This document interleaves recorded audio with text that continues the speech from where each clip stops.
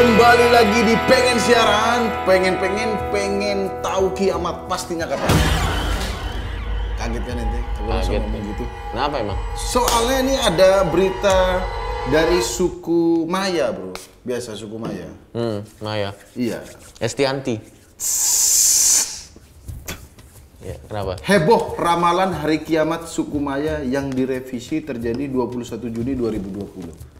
Menurut suku Maya, Enggak, waktu itu dia kan bilang 12, 12, 12 tahun ente. tahu Ya. direvisi. Direvisi. Bangsat kiamat direvisi anjing. Makanya. Terus Kok bisa? Ya akhirnya direvisi 21 Juni dan tidak terjadi lagi. tidak terjadi.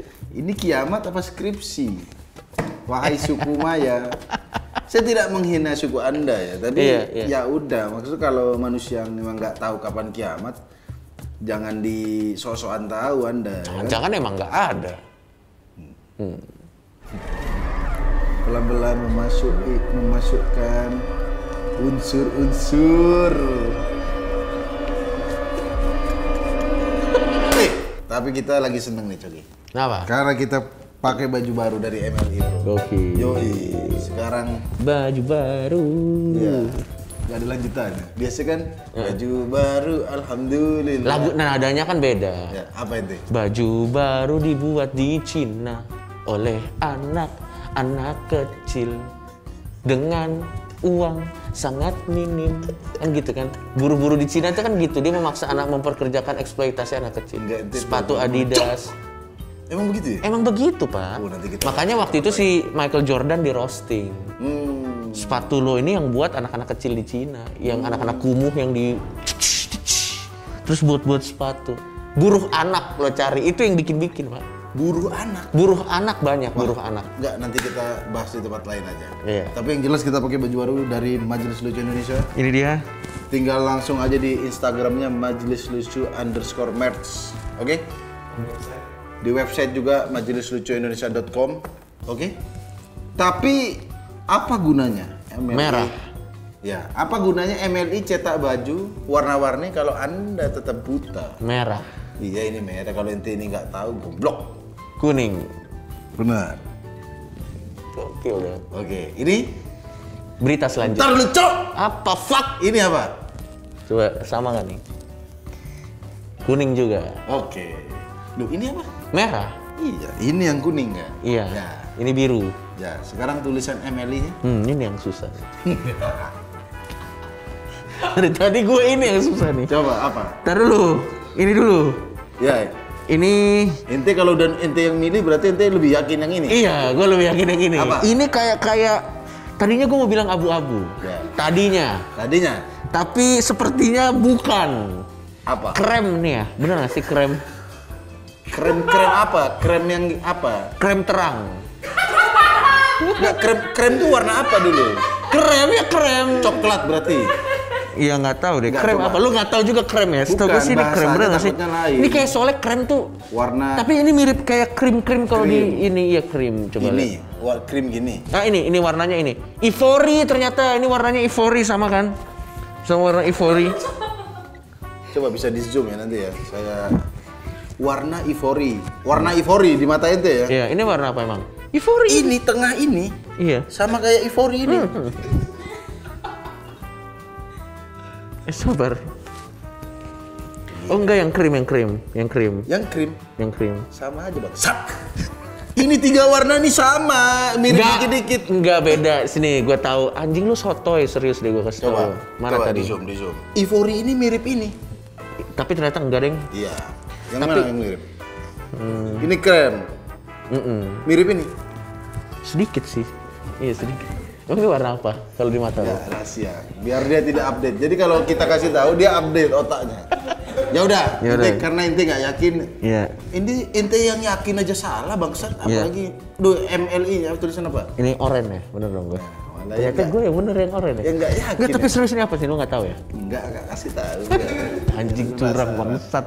Ngapain ini? Dari tadi kan lu nggak lihat gua Oh, cuci tangan. cuci tangan dengan ini. Ada yang menarik. Ya. Hand baca dong. Hand sensitizer Benar, dari majelis lucu. Hand sensitizer. Ini nanti bonus bikin merch.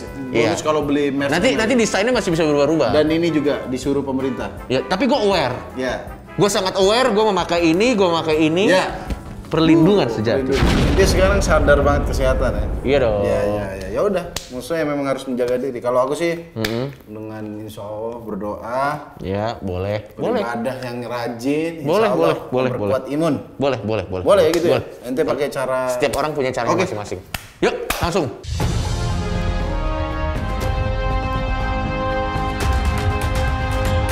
kandung kemih laki India kemasukan kabel charger saat masturbasi.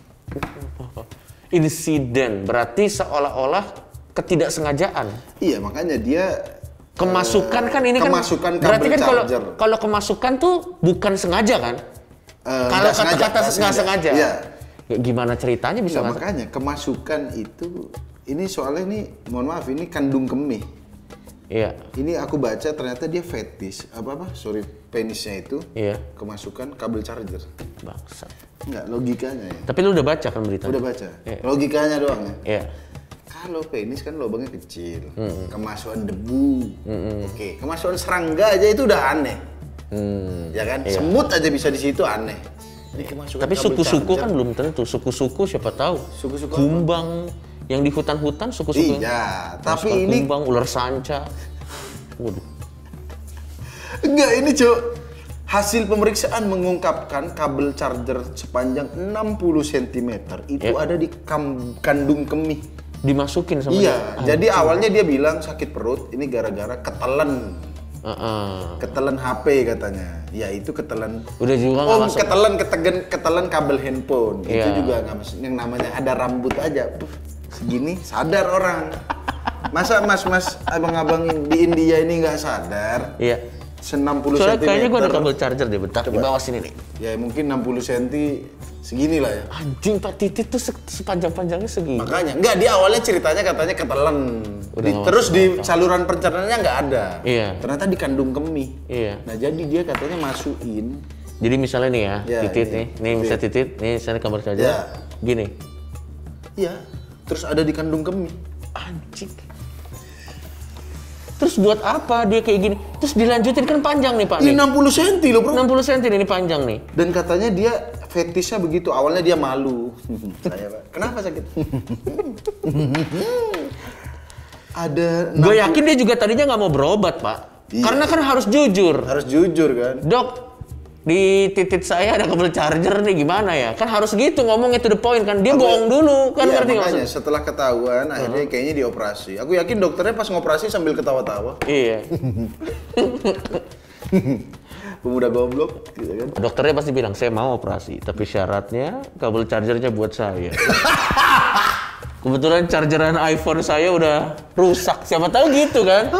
Perjanjiannya Enggak, jadi ini ada keanehannya memang dia Iya. fetis. Iya. Jadi eh, disebut recreational sounding. Hmm. Jenis permainan seks ini dapat menciptakan kenikmatan jika dilakukan benar.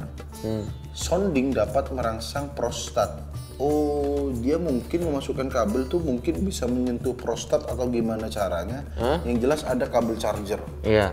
dimasukin gitu. Iya, Jadi ya Tapi kan itu, maksud gua kan eh, titit itu kan sebenarnya untuk apa ya kelu- tempatnya lubang titit itu kan kalau nggak keluar kencing keluar spare kan bayangin dia. Dia spare kan lagi wah lagi coli keluar knalpot coli keluar karburator masih dilanjutin. misalnya motor kita Set, misalnya udah!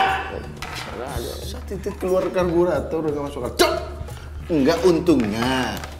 Untungnya mas abang-abang di India ini Iya. akhirnya dikeluarinnya bisa dari dokter. Iya, iya. Coba kalau dia masih ada. Iya. Terus dia kencing di toilet umum di urinoir gitu. iya iya iya.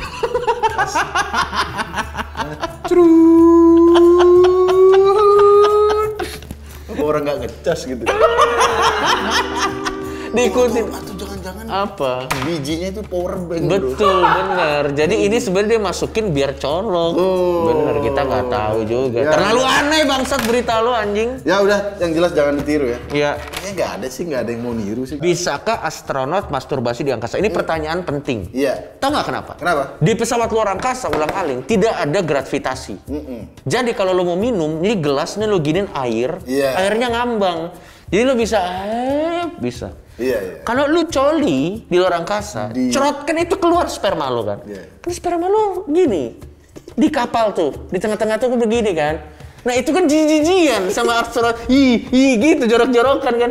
Digini-giniin nanti biar biar peju lo tuh ke arah situ. Udah cok, jangan dibayangin sampai sejauh itu bro. Bro, lu yang bilang Enggak, bangsa. ini kan lanjutannya. Udah, ini ada berita lain lagi nih. Ayo coba.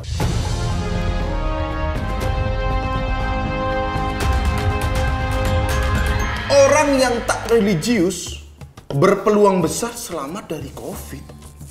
Ah bohong lu. Ini terpercaya nggak nih? Terpercaya.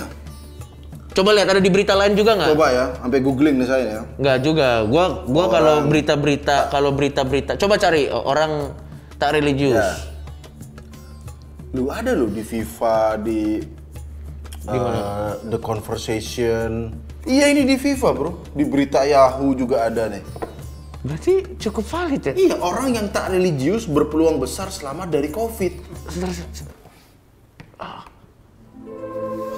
Aku tidak perlu ini.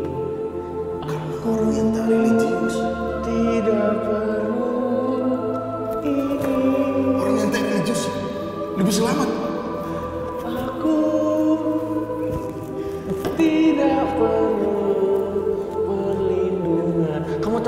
S1 apa? Filsafat.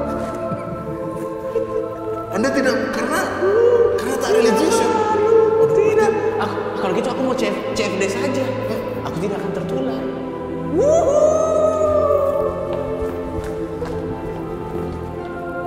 Memang orang yang tak religius seperti Coki selamat dari COVID. Tapi tidak bisa selamat